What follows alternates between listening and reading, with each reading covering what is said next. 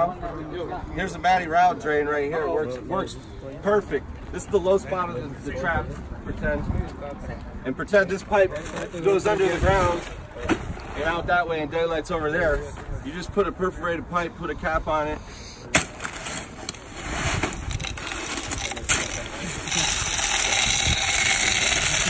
And that drain is done.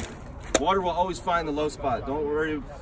Necessarily, you could always build a, a dendritic drain and put a lot of arms out and stuff, but the water's always going to come there and it's going to leave. I promise you. Doesn't like to be sitting on a high spot. You put filter fabric on top of that? You could, yeah, and poke holes in it. But sometimes we run into a filter fabric that gets clogged up. And then, I'm not a huge component myself. yeah, he knows he, that. doesn't, he doesn't like filter I don't like too it much. because as soon as you're, a dog digs at it and it starts pulling up, you got to tear the whole thing out. Yeah, but I So- mean, I'm just talking about where the oh, hole Oh, is. for here. Oh, oh But make sure it's a good one. Make sure it's going to drain through because we've run into a couple of them that when they get base on them, they, they don't let water run through. But then if you had to, if it's just sand on here, you can take it up and replace that. For sure, Yeah. for sure. Yep. I thought you meant fabric on the whole thing. I'm not. No, a, no, no, I don't I'm not a component of that at all. But he'll compact the heck out of the trap before he puts any sand in it. The, the, the biggest point of that, the filter fabric, is to not get rock into your sand. But when you put it five, six inches in a trap and the guy goes in there eight times a year, it's not a problem. But for a guy that's going to use his green a lot, probably put some filter fabric in there. You don't, do you put base in here? Or do you just put Absolutely. dirt? Yeah. Yep. Base. Absolutely. We'll have this whole compacted and smoothed out. I think people think that there's a. The reason to put fabric is so the weeds don't grow. The weeds But gonna grow anyway. It doesn't matter. I mean, it's it's synthetic all the way around it. Fucking spray it with Roundup. Who cares? it's more of a pain in the ass if you have fabric sticking out of your green the whole time, and every time you rake it, you pull more up and pull more up, and then the sand goes underneath it, and it looks like well, shit. hell, we're gonna quit using it then. Damn. I, Right, sorry. Jesus? I don't. I don't see Yeah, the, no, I, don't I, I see the agree with point. you. We, You can We don't. there. We didn't do it when I was in, in golf construction. We it was straight dirt, sand on top of it. No, no fabric, no nothing. Yeah. okay, what do we got here? So we've come we've come quite a long way in a short year or two. That this probably putting this pipe in traps three years maybe. Right. Yep. Used to use a four inch You can. perforated like that, or it doesn't matter if it's perforated or not, but a, a flexible pipe. Uh, three inch is a lot easier to use. If you can't find this stuff, which you could always order, but last Flexible minute, PVC. right? This You- one is you a and spa pipe, that. meant to carry hot water. It's pretty moldable. Use a 10 inch nail, smash it in there. So What what, diameter is that? that's a three three inch inside, I think. You can use um, two, three, or four. They all So- look good. So Jesus will make a, a flat shelf, right? Pack that really good. And when you lay this pipe, don't put it up against the wall because you might want to adjust it. Leave it an inch off the wall so that when you say, all right, let me pull one of those nails and the, the curve didn't look good from when I went up and looked by the house or something. Yeah. Leave some room and that's so you can adjust it. Sometimes you have to make the adjustment. Make the adjustment. So That's my first pitching coach told me. Hey, Here- Jesus Hernandez, that was his name too. here's Wes's biggest pet peeve in all of turf. make the adjustment. You want to see Wes's biggest pet peeve in all of turf? It's not packing this in here. Drives enough. me that shit crazy. Right. Because you need to make it, this is what it needs to look like when it's done. Like this, this is falling into the trap. Getting it wet, okay, great, it looked good, but someone's gonna step there 80 times. Yeah. So to, to But combat look, that, you can mix some, mix some mortar. dip right here if you don't do it. It looks stupid Yeah, as hell. you can mix some mortar and do the same thing. Still pack the mortar in there. We did that on Mickey's uh, Mickey's green. So if you put that turf down like that right there, Yeah. Go ahead, it's, throw it down. it's gonna show.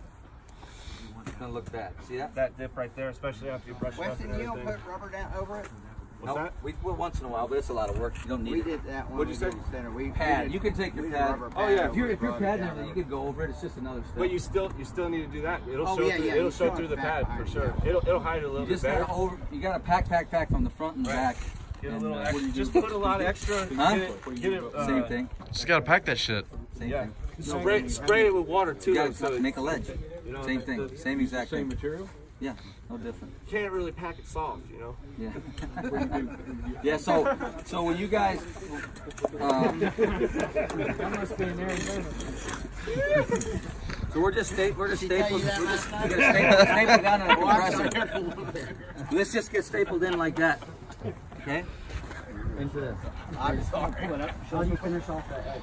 So what kind of staples do you use? That would be a complete, One and, complete a, circle. one and a half inch. What, what are they? Um, One and a half inch staples? Make sure they're galvanized. How do you do a Oh, you had steeple to- edge? How do you do a steeple edge like that? Doesn't really matter. what? Same. Make a deeper bank. Same.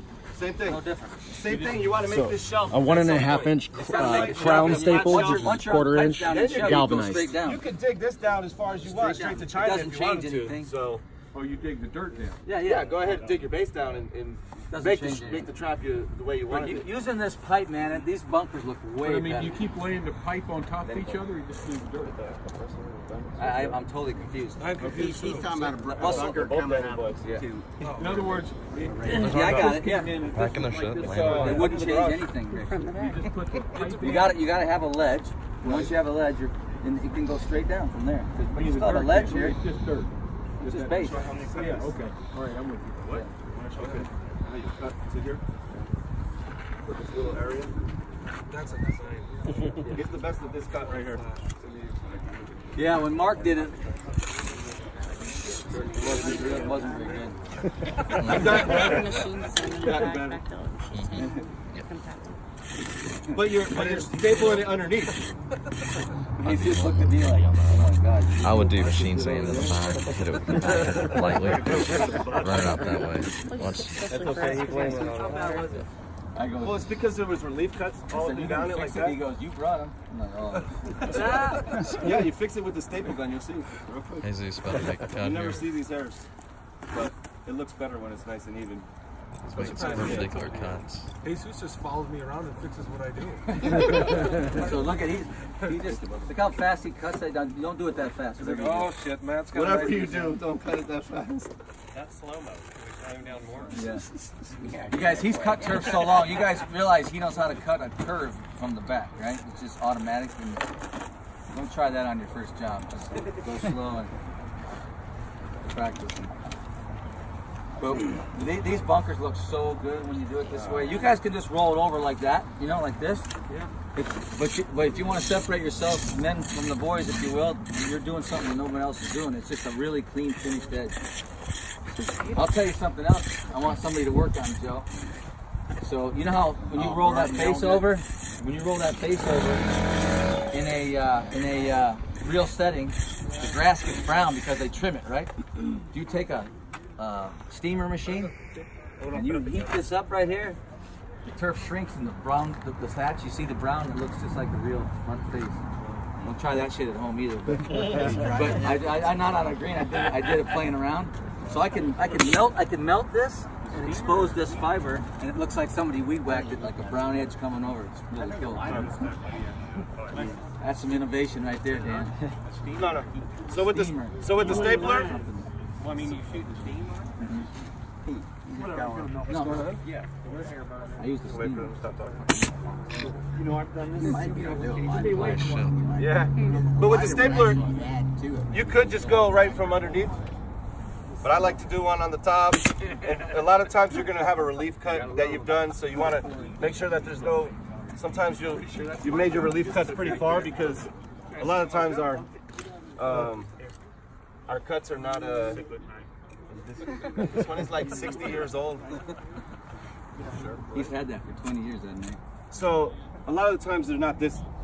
This is mellow, right? A lot of times our traps, especially Matt Ralph, they're diving in there. So you're always going to be making big relief cuts on your carpet. Don't worry about it. That's going to help you not get tiger stripes over here and here like that. So cut them long, and this is your this is your glue right here. You agree with that, Jesus?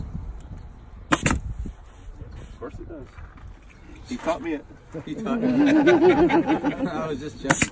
So once you get, you, you, you can do as many nails as you want in here. You know, it's still in there. But when you go for the underneath ones, don't worry about separating fibers or anything like that because they're underneath there. Good luck getting that one up. Nice. The spot, the spa pipe holds really well. Any questions on that? Because we got to keep moving. Anybody? Okay, let's go to the stack side real quick, and then Oh. we're gonna have lunch. There's connections you could put. Say if you're got more than 100 foot or more than 50 foot in your trap, fill up a Gatorade bottle with base, wrap that with duct tape, put them together, and then you can put nails through the Gatorade bottle. We, we're using a paint can, but you can't nail through the paint can. You know what I'm saying? Take connect the pipe, connect it, take a Gatorade. For right here, yeah. fill with base, you can still nail into it. Already? No, it's gotta be. Uh, yeah. Powerade don't work.